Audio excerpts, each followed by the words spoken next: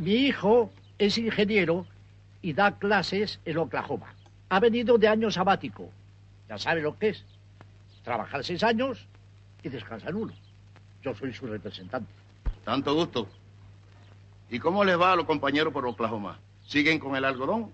Bueno, yo es que estoy muy centrado en la universidad y no sabría decirle, francamente. Pero usted